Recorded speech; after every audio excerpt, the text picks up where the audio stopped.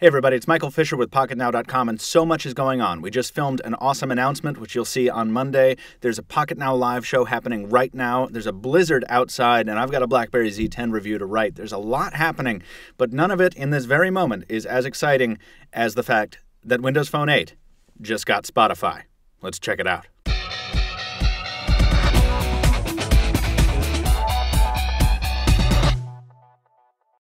Okay, so this is going to be less exciting news for anybody who's been running Windows Phone 7 because Spotify has been running on Windows Phone 7 for quite some time, but it just made the port to Windows Phone 8. Before today, you couldn't get Spotify running on Windows Phone 8. So this is huge. It was a huge gap in functionality, and it's especially big news for anybody who uses more than one mobile platform on a regular basis, i.e., most of us at Pocket Now and in the tech reporting world in general, because now we can access our playlists on one more major platform, Windows Phone 8. So the user interface is very similar to what you've already seen on Windows Phone 7. We launch into the app and we have the Spotify title up top. There's a search bar where you can search for artists here. Your playlists are aggregated thusly. And if you want to just start playing a playlist, you can just tap, go ahead and tap on a song, and it does that. You can also see the queue of music that you've queued up to play from various playlists, and you can see your list of people, which is really cool. If you have friends on Spotify, you can see what they're currently listening to. You can see what they've aggregated in terms of uh, what their favorite songs are, their favorite playlists, top artists, and so on. And you can always see what they're playing currently if they are, in fact, listening to Spotify. Jaime is busy in a Pocket Now Live Hangout right now, which you should go do after you're done watching this video. When music is playing, you can hop back to the home screen and it will continue to play in the background. The Spotify shortcut is in fact a live tile, so it will flip periodically to show you what album you're listening to or what album is currently paused.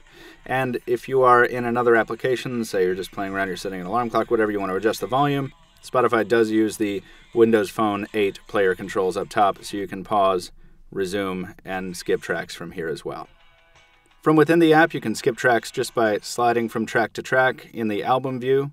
And here is also where you can share the track you're listening to using Facebook, using SMS, using email, and so on.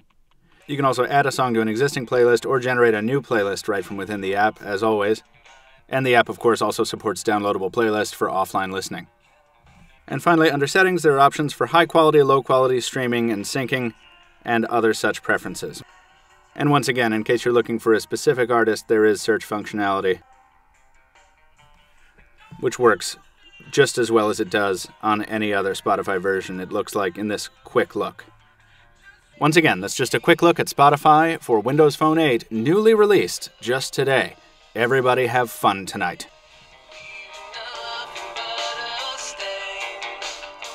That's going to do it for a quick look of Spotify Beta for Windows Phone 8. Follow us in the links in the description below so you don't miss future videos. Stay tuned for a lot more on this very, very busy weekend, leading up to a busy week, leading up to a busy month. Like the video with the thumbs up if you did enjoy it. Thanks for watching, and we'll see you next time.